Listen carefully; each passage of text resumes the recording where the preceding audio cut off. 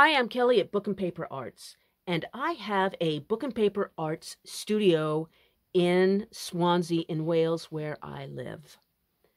Today, I'm starting an occasional series called What's New in the Studio. And I'm just going to show and tell some of the new old things that I have found in the last couple of weeks. Or sometimes I think they have found me. Not a tutorial today, just some eye candy, some vintage book and paper eye candy for your weekend.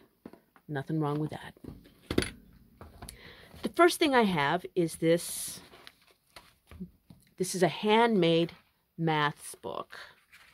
You can see it says multiplication. That's all handwritten and hand flourished. You can see it's got some uh, damage from mildew back in the day. It's, it's dead now, but it did leave that mark, which is the one of the reasons that I have permission to keep this book and not even worry about whether I want to sell it or not.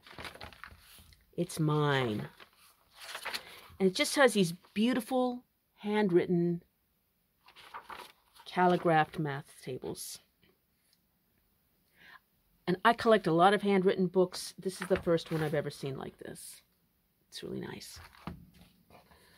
Speaking of handwritten, I have a few ledgers that came my way this week. Let's see, this one has a little bit of a leather binding and it has a brass clasp. I love books with little clasps and closures like that. The first entry is from 1854 and you can just see how pretty the handwriting is. And it's just accounts, monies owed and paid, brought forward, interest, a um, little bit like that. Got some water damage here. But I actually kind of like that because it tells part of a, a little bit of a story or a mystery. Was this book in a shipwreck? Probably not. But something happened. Here is another another ledger. This one has some marble papers, and its first entry is from 1899. It's actually pretty interesting because this is more about uh, groceries and shopping.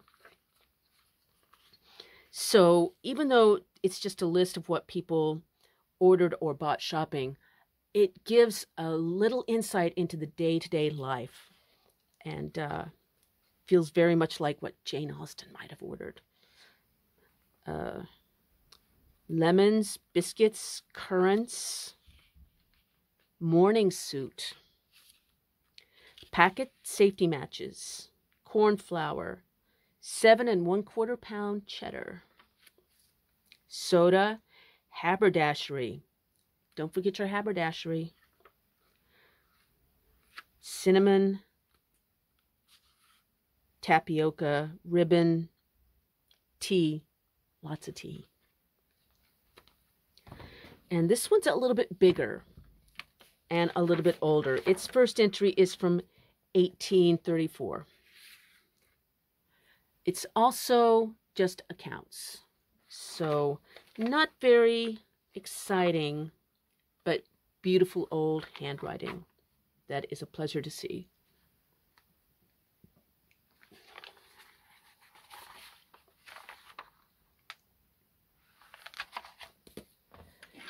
This is really a treasure. I just gasped when I saw it.